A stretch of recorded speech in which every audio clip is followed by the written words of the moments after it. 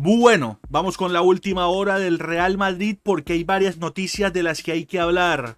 Obviamente con este equipo de galácticos tú nunca puedes callar. ¡Vamos video! Madrid retumba, somos fuerte, soy madridista hasta la muerte, mi suerte, Cross, Brian, Vinicius, Esperanza, Champions League, la gloria avanza. Vale, vale gente, vamos con la última hora del Real Madrid. Aquí está Lucas Vázquez, por cierto, señores. 350 partidos con el Real Madrid. Felicidades, Luquitas. Qué cantidad de partidos. Esto es histórico. ¿eh? Este, este, este, ya es leyenda del Madrid. Ahí donde lo ven, hacen memes y lo que tú quieras. Cafucas es cafucas. Donde lo pongan. 350 partidos con el Madrid. Bien merecido, ¿eh? Por cierto, última hora. Así van los porcentajes para el balón de oro. Cuotas para el balón de oro. Balón de odds. Según Score 90. Ahí está.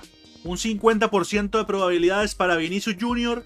y un 24% para Rodri. Bueno, fíjense que yo siempre he dicho que Rodri es un genial jugador. Es el mejor del mundo en su posición. Pero Vinicius es Vinicius. O sea, es que quitarle quizás un balón de oro a Vinicius sería ridículo. Estamos hablando del mejor futbolista del planeta. O sea, no hay punto de comparación entre el primero, el segundo y el tercero. Vinicius está lejísimo del resto. Es un tipo que te ha marcado dos goles en tres años en dos finales de Champions. O sea, no se puede ser más clutch que Vinicius. Determinante en la cancha. Cualquier equipo quiere a un Vinicius que te sea diferencial y que sea el mejor, obviamente, ¿no? Que es el mejor en su posición. Entonces Vinicius, por eso de lejos, merece el balón de oro. Y las estadísticas no mienten. Aquí damos datos y no opiniones. Ahí está. Vini Jr. Mbappé por su parte ha hablado ayer y le han preguntado de si va a ganar 6 títulos esta temporada. Y Mbappé dijo, en el Real Madrid hay que ganarlo todo. Vamos a ir paso a paso, partido a partido. E intentaremos mejorar poco a poco. Ahí está Mbappé diciendo las cosas como son. Lo dijo clarísimo. Yo creo que ya Mbappé sabe lo que, lo que tiene que decir. Y es que en el Madrid hay que ganarlo todo. Así de simple. Es que no hay excusa para nada. No, que la copita del rey. No, no que, que la supercopa es pequeña. No, no, no, no. En el Madrid hay que ir a por todo. Y esta temporada es obligatorio ir a por todo. Obligatorio. No hay excusa de nada. Bien por Mbappé ahí. Aquí está Mbappé posando con la Supercopa de Europa. Toda manoseada ahí la copa. Ya todo el mundo ahí con la copa bien bonita. Por ahí estaba leyendo algo acerca de Jacobo Ramón y ha sido también registrado, ¿no? Jacobo Ramón ha sido registrado, inscrito como jugador del primer equipo aquí en la liga, miren. Liga, la liga, Jacobo Ramón. Esto ha sido casi obligatorio porque se selecciona Joan Martínez, el chico de tan solo 16 años que nos hacía mucha ilusión, se lesiona el cruzado y todo eso pues es obligatorio inscribir a Jacobo Ramón. Yo creo que nos va a ayudar en caso de emergencia, ¿no? Es casi obligatorio, obligatorio. Porque la verdad es que la defensa preocupa. A mí por lo menos preocupa. Lo otro es que la última hora también es que Tebas, la liga, pues la liga, la liga planea jugar un partido oficial de liga en Miami y un torneo en Abu Dhabi. Bueno, este tipo quiere ganar dinero como sea, ¿no? O sea, yo creo que el Madrid no debería jugar estos partidos solo para que Tebas gane dinero, ¿no? Me parece tonto. Yo no quiero que el Madrid se vaya para Miami a jugar partidos de liga. Los partidos de la liga tienen que jugarse en España. Dejarse de Miami, de Abu Dhabi, un poco de respeto, ¿no? Con la afición. Es lo que debería suceder. Pero bueno, Vamos con la última hora del Real Madrid porque hay varias noticias interesantes y comentarios. El Real Madrid levanta la Supercopa de Europa con Mbappé en el escenario principal. Anoche el Real Madrid se adjudicó su primer trofeo de la temporada 2024 a 25 al vencer a la Atalanta por 2 a 0 en la Supercopa de Europa.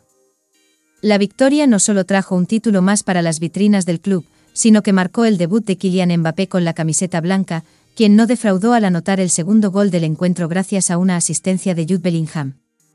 Su actuación no solo selló el triunfo del equipo, sino que también confirmó que está listo para asumir su rol en el conjunto madrileño. Las primeras palabras de Mbappé tras su debut. Tras el pitido final, las cámaras y micrófonos no se despegaron de Mbappé, quien primero compartió sus impresiones con Movistar Plus y luego con Canal Plus Food. El delantero francés no ocultó su emoción por su primer título con el Real Madrid, pero al mismo tiempo mantuvo una postura autocrítica. Evidentemente es un debut soñado, pero ya solo con jugar en este club es increíble, expresó Mbappé. Aunque satisfecho con su gol y el resultado, subrayó la necesidad de seguir mejorando, ganar un título es lo que se espera del Real Madrid, pero tengo que mejorar.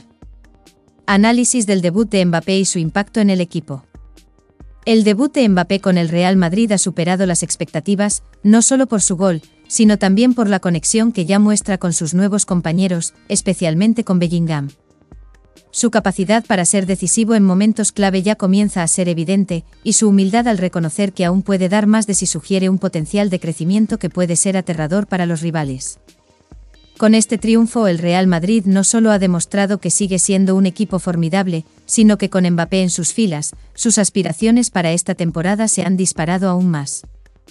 Rodrigo Goes reflexiona sobre la Supercopa de Europa y su relación con Mbappé. Tras la victoria del Real Madrid sobre la Atalanta en la Supercopa de Europa, Rodrigo Goes compartió sus impresiones en una entrevista con Real Madrid TV.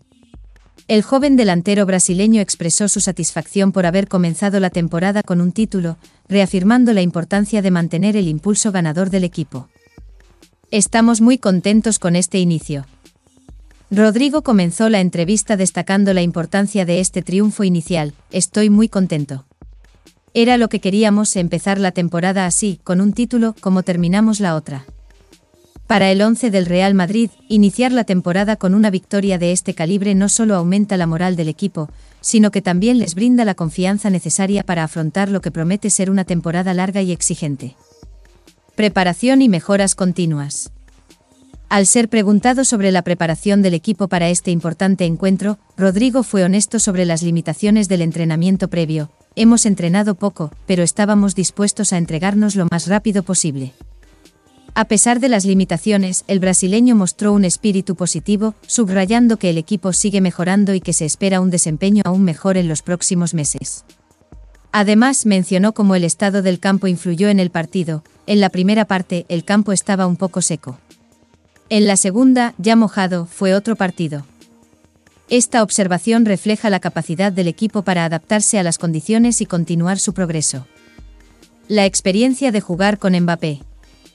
Finalmente Rodrigo compartió sus pensamientos sobre la reciente incorporación de Kylian Mbappé al equipo. Es lo mismo que hacía con Vini y con Bellingham. Ahora ha llegado uno más, uno de los mejores del mundo, comentó el delantero. La llegada de Mbappé, según Rodrigo, ha fortalecido aún más la dinámica ofensiva del equipo. Resaltó cómo Ancelotti les pide a los jugadores ser flexibles en sus posiciones, lo que les permite aprovechar al máximo sus habilidades combinadas. Conclusión. Las palabras de Rodrigo reflejan un equipo que, a pesar de las grandes expectativas, sigue enfocado en mejorar y adaptarse a los desafíos que se presentan. La combinación de talentos como Rodrigo, Vinicius, Jude Bellingham y ahora Kylian Mbappé promete hacer del Real Madrid un contendiente formidable en todas las competiciones de esta temporada.